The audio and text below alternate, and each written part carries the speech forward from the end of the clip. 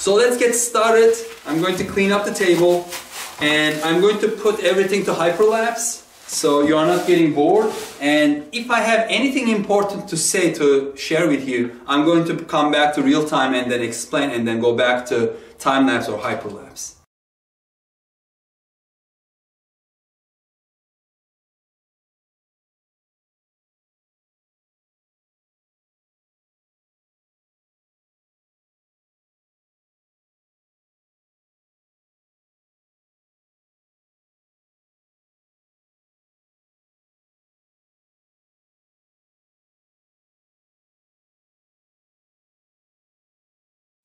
The installation of the horizontal and vertical stabilizer was super easy. No glue needed. You just have to make sure that you have the longest screw here. And you first put the horizontal stabilizer in its slot. There are two plastic pins that go in the front. Actually, maybe one, I, I forgot. But it just sits very flat.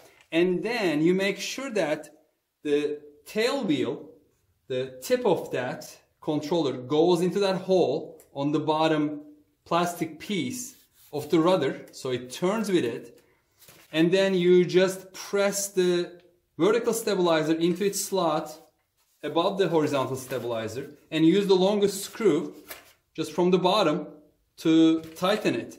And it is super tight so I thought it, won't, it wouldn't hold but there is another peg in the front plastic peg into plastic peg that holds it in place. So this is super strong it's not coming off so you don't have to in my opinion you don't have to uh, do anything to like a gluing to keep it there. So this will give you the option to take it off very easily with one screw. So let's continue.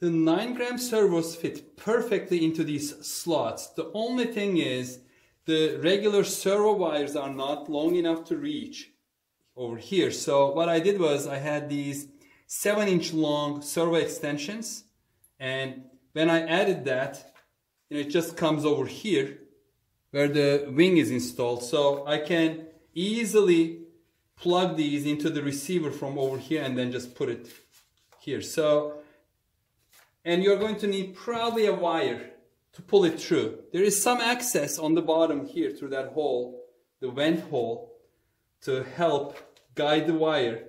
But then you are going to need something, unless you are very lucky, to pull it through that space inside. So I just pulled it out now, one of them, and then I'm going to do the next one. So do you see? It is going from the center. So they, they left some openings here to fit the wires through and those openings are large enough for these uh, plugs to go in.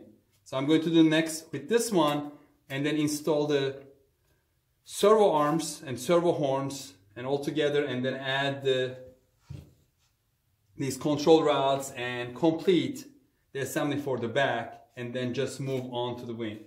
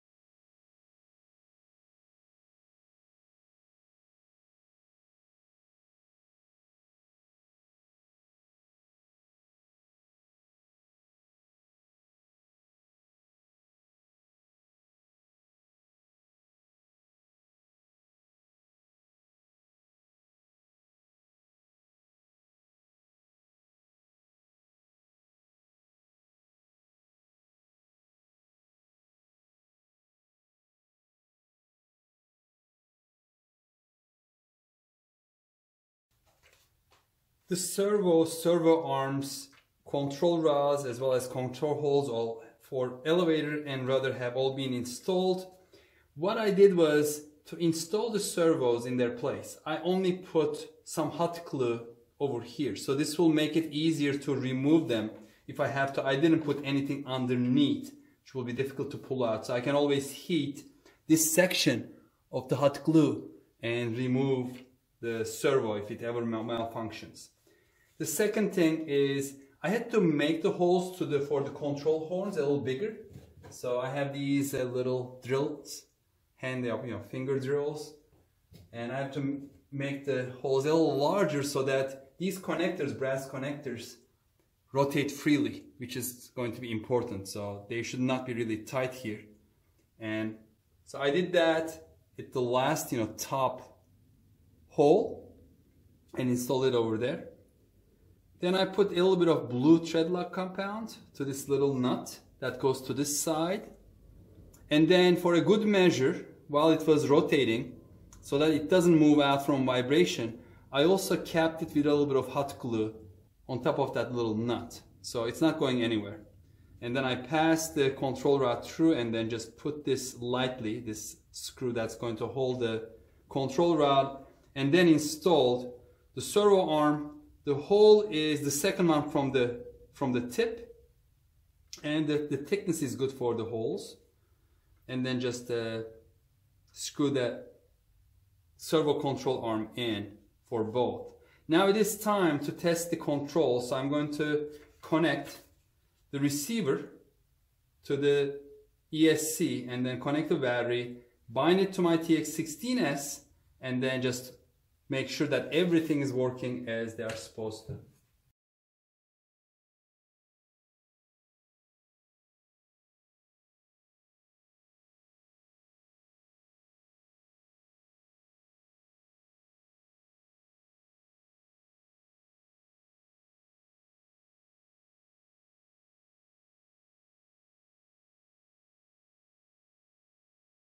So I complete the binding process. As you can see, elevator is moving the correct direction, up, down, and rudder is moving correct direction as well, right, left. I'm just going to center them now. And also the motor is working. I took the prop off, of course.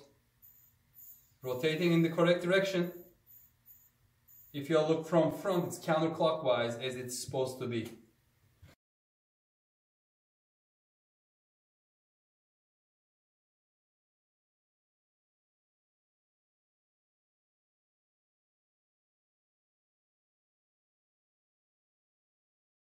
I just realized that this plate holding the rear wheel assembly in place at the back of the fuselage has been installed crooked. Do you see there's a gap on this side?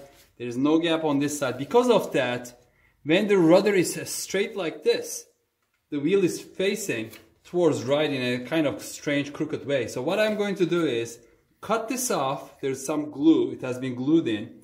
Cut this off, peel it off, and then you know clean up that area and then glue it back on with the hot glue. So I could not separate the whole plate from the plane because there is a tab going between these two halves of the fuselage. But what I was able to do is like separate this and then bend it back because this was uh, there was no gap and then fill that gap with hot glue so it won't come back. So now it is completely flat and this wheel, although it's like a little crooked, it's still facing forward. So it should be okay, I think. And I can do, you know, slight trim when taking off with the rudder. So this should be okay.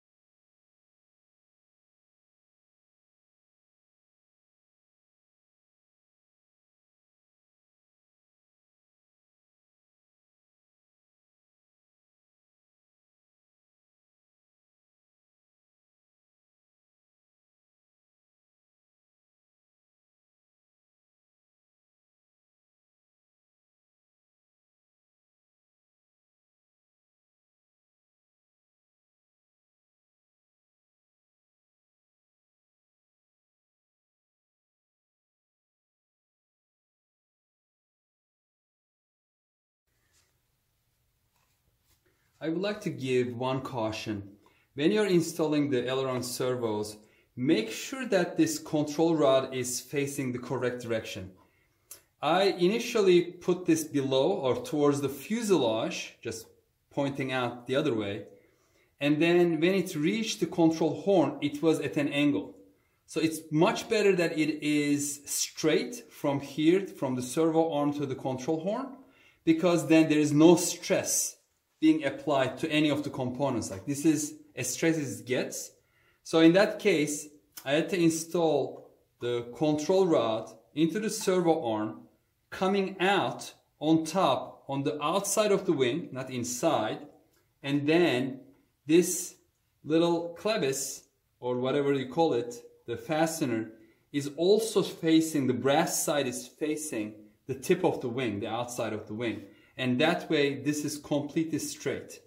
So now what I need to do is connect the both aileron servos via this uh, Y adapter. By the way, this doesn't come in the kit. So you have to provide your own extension cables for the elevator and rudder and your own Y cable for the aileron servos. So they are going to come together at the center, go inside and connect to the receiver. So I'm going to do that and center the servos and put the little screws in to attach these and then cut the excess wire or the control rod off.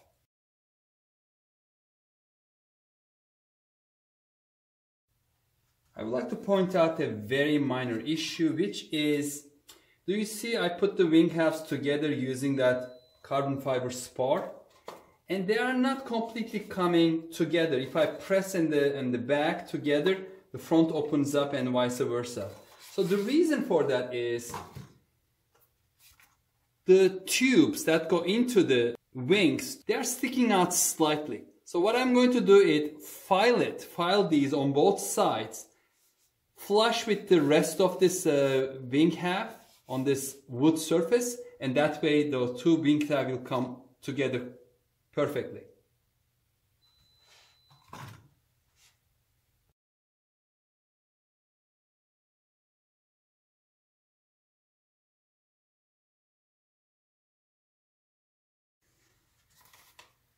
After filing the tips of those tubes, that gap is almost completely gone. So now this wing is ready to be installed on the plane.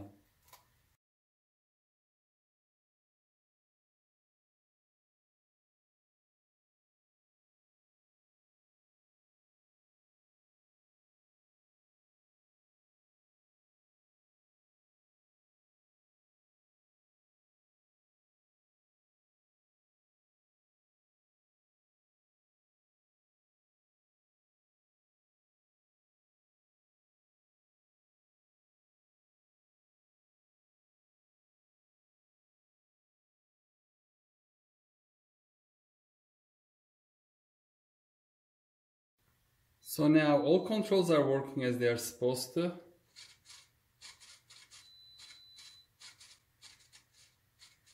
Except I think uh, this is reversed, but I can reverse the ailerons very easily, but all the control surfaces are moving fine.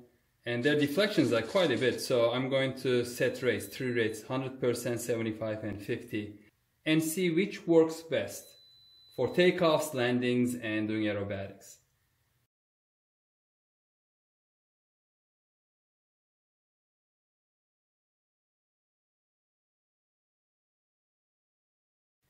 I just want to point out that the fit of the wing halves onto the fuselage is very nice and tight.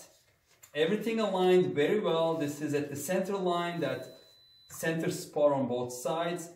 And the locking mechanism is perfect. There is a plastic collar, two collar that goes in and these are you know plastic, not screws, but I can show you what, what they are.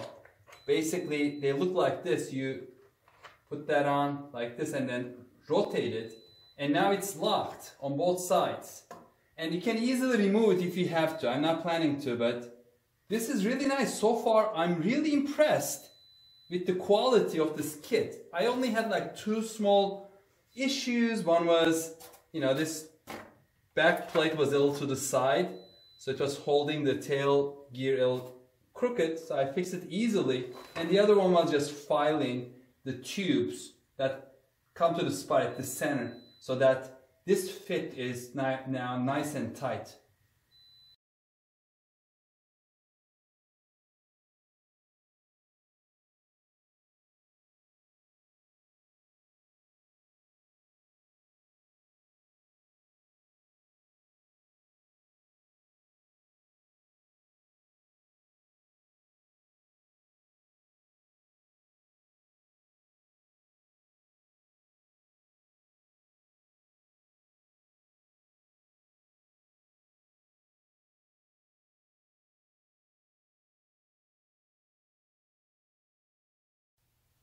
Let me show you what I have been trying to do in the last hour or so.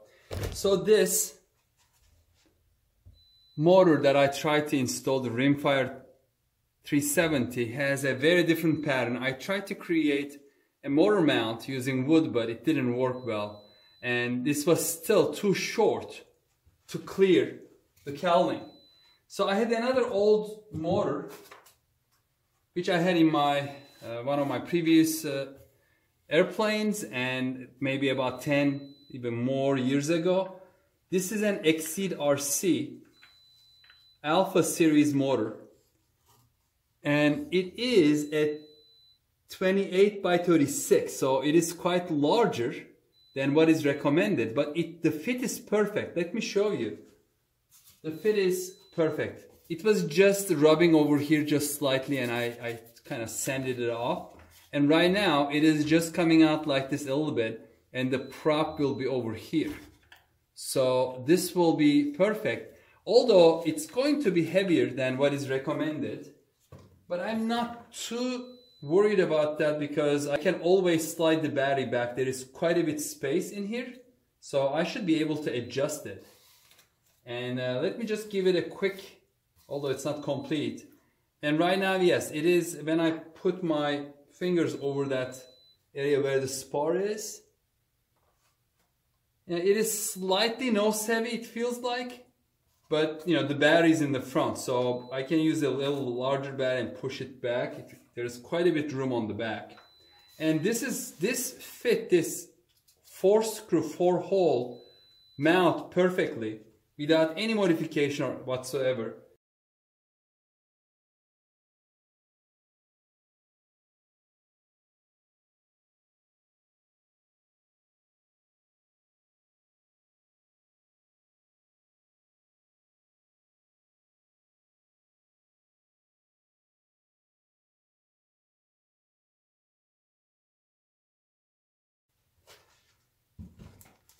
So I use one of these 8 by 6 inch electric propellers, tin electric propellers that I had and it fit perfectly and the good thing is also the blue of the motor and the spinner matches the blue of this model. So I haven't put these yet but you know once I put these on it's going to be perfect.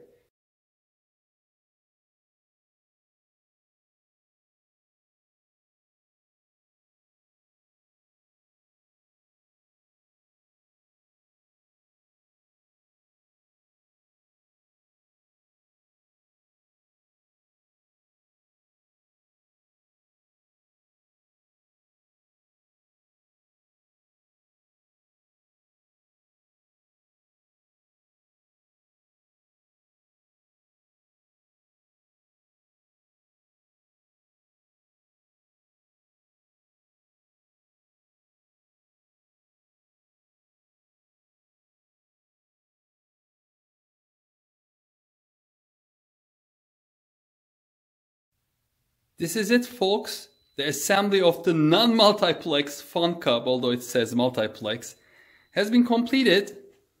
And tomorrow the weather is expected to be very nice, although windy. So I'm planning to do the maiden flight.